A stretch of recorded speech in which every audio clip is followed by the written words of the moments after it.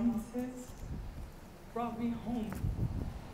And I was just late, I didn't get to meet him. Um, that was one of the impacts of the sixty-two. But today I stand before a bunch of people who are telling me beautiful stories of a man that I wish I had known. I wish I could have spent time with. I wish I could have hugged him. Marcy Cho, Terry Pamplin, for bringing my Uncle Charlie for me and for this community. Thank you, y'all and I, for doing this for my Uncle Charlie. And thank you, Uncle Charlie, for changing, changing the world's perception of, of what it is to be homeless, what it is to be a residential school survivor, and what it is to be an Indigenous man. Marcy Chopra.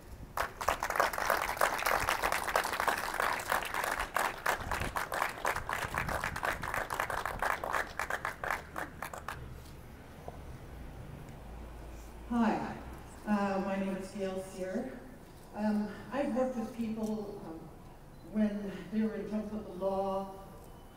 People, uh, I would sit in front of the post office and um, talk with people all the time. Uh, Charlie was always coming by, of course, and um, I always loved talking to Charlie because he was so intent. And when he looked at you, you, he made you feel like you were the only person in the world at the moment that he was talking to. And he just had those fabulous, rich, rich, dark eyes that would sparkle, and his eyes would crinkle. And, um, but you could see his generosity when he was working with other people because he would, he would give them money or he would get them food or he would get something.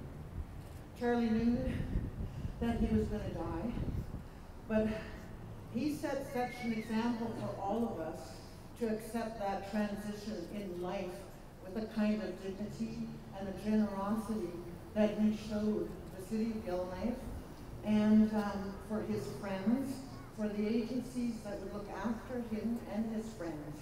He did some amazing things. Um, I don't know how many of you know this book by um, Kyle Thomas. Kyle um, did a kind of a photo essay and stories of people who were on the street. Now we knew Charlie had his own place, but as Terry says, it, the streets were his office, and that's where he worked with everyone. So um, pictures of Charlie, of course, um, are, are in here, and they talked about, um, they talked specifically about the generosity of what he did with his residential school payoff. And one of the greatest things that um, he did was he ensured that the places that served food for people who needed it, um, he bought steaks. He made sure that all of these people had steaks uh, the night of his memorial. And um, so he bought, he bought, he made sure that they all had steaks, and that was one of his um, bequests that he had made. So again, he's gonna, he's just a familiar person. I'll sit in front of the post office talking with some friends, and I keep, still keep on thinking, well, you know, where's Charlie? I keep on because I sure, I really, really did enjoy talking to him. So thank you, thank you, Terry. You did such an amazing job. And um, I did a whole bunch of photographs when this, um, when this was being erected. And it was a little scary at the one point because it was kind of windy. And even though this area is protected, when they lifted the portrait over the railing of the, of the, um, the lift, the wind caught the top of it, and it just, those guys, you could see them, they're struggling to um, keep from dropping the portrait, and it was pretty scary there for a bit. But it made it. I love the work.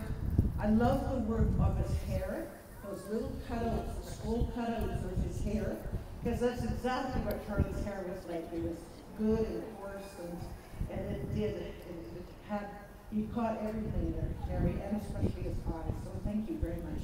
And thank you for the City of um, Yellowknife Heritage Committee for the, thanks.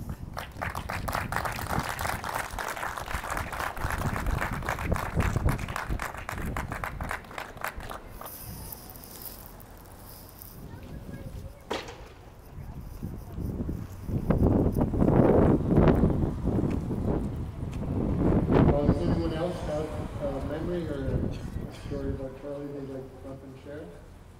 Uh, Please feel free. Um, we're gonna be here until the hamburgers are out, so please keep eating. Kyle, did you want to say anything? Thanks for coming out, everybody. Thanks, Terry.